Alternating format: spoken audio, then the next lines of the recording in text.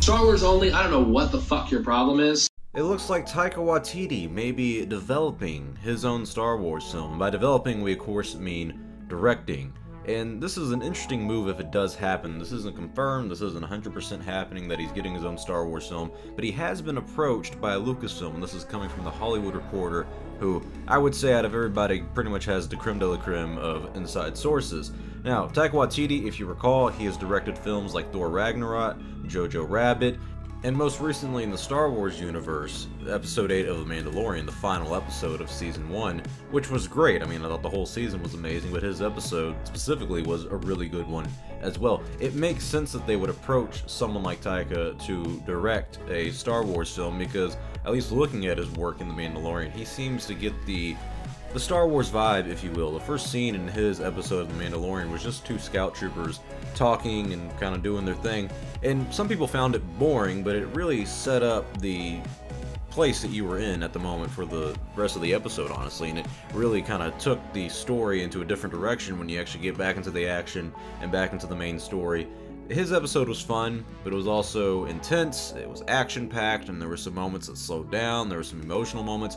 It was a great episode, and I think he would fit in the Star Wars realm. And I think it's interesting that Lucasfilm has been using The Mandalorian so far kind of as a.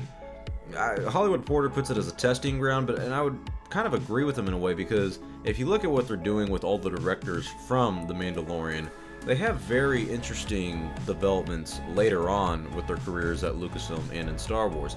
Jon Favreau created the show, and it seems like he's going to have a more active role in the development of Star Wars projects in the near future. Dave Filoni was using The Mandalorian kind of as a learning experience on live action development with the producing role and a writing and directing role. Then you get Deborah Chow, who directed chapters 3 and 7, I believe and she's going to be directing the Obi-Wan Kenobi series. Like that's her own project right there that's starting production this summer.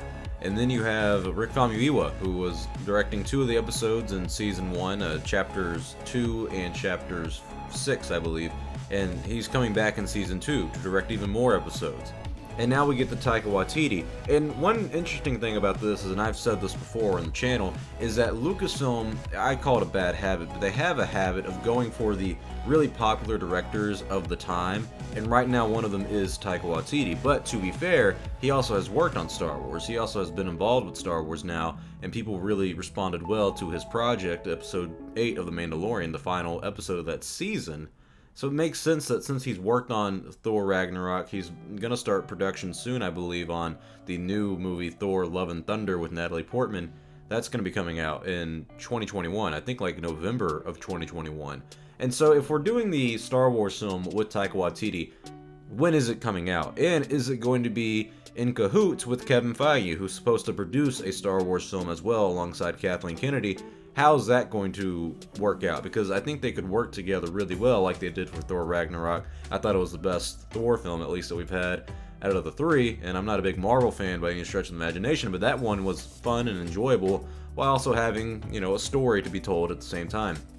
So it'd be interesting to see how this timeline works because it's not like Taika Waititi has an open schedule. He has a film coming out in 2021. If we're assuming that he's coming out with the next Star Wars film, which comes out in 2022, I mean, that's a really short turnaround for a film. I mean, if they start production for his film in Star Wars at least in 2021, then sure, that makes sense.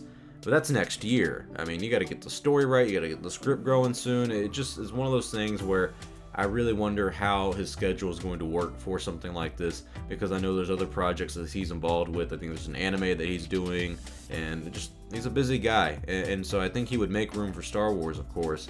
But that's one of the cool things about him working with Disney and Marvel is that Disney also owns Lucasfilm, so I think they could work around his schedule pretty easily.